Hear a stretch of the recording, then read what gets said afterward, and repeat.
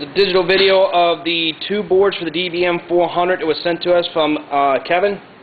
It's going to be both the MC master unit as well as the step motor board rear unit. They've both been inside. Alright Kevin, what we got set up is uh, I've already tested this. I've run a couple hundred stitches through it. I'm not getting the same problem you're getting, which I didn't think I would.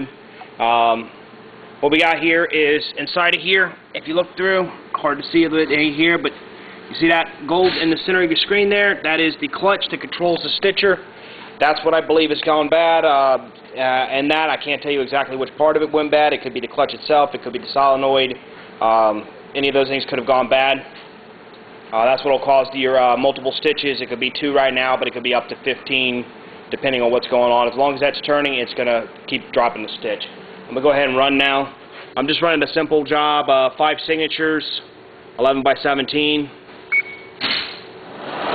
This is one of our units that completely redone. Uh, everything was working absolutely properly, so when we put a air board inside, if anything would have happened, we would have known it was one of your two boards.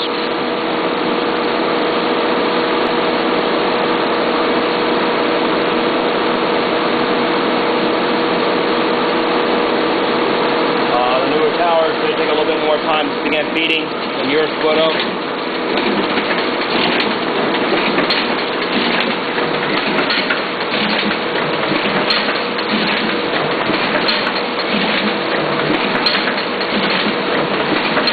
Only getting a single stitch.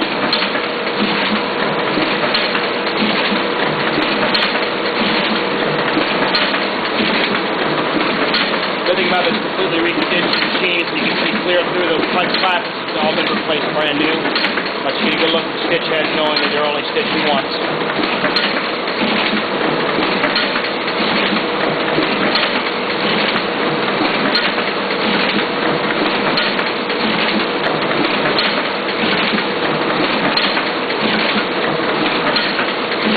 I do have slowed down right now, so in case there would be a problem, you would see it. Speed it up real fast.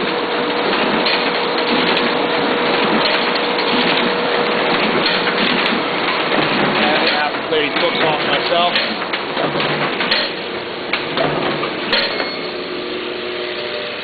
Uh, ran out of paper stock, which uh, this will conclude our digital video.